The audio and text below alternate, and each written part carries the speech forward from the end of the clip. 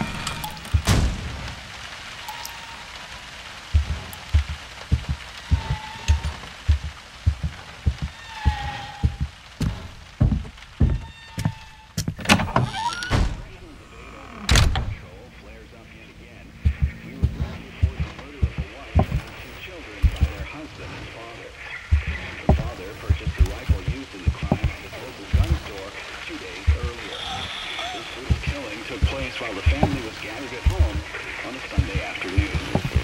Don't touch that dial now. We're just getting started. Retrieved the rifle and shot his wife as she was cleaning up the kitchen You can't trust the town.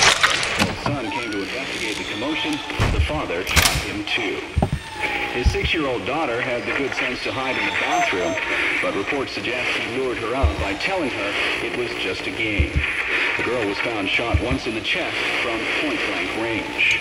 The mother, who was shot in the stomach, Two oh four eight six three. seen after neighbors called 911, found the father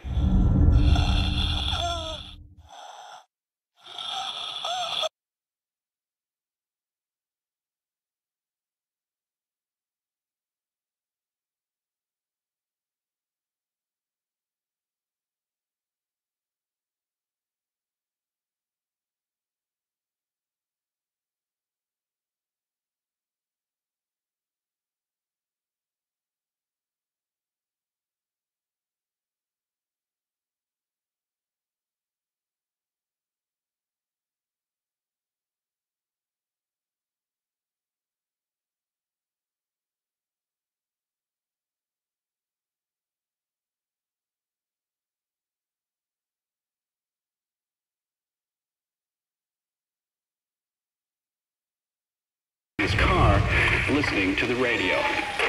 Several days before the murders,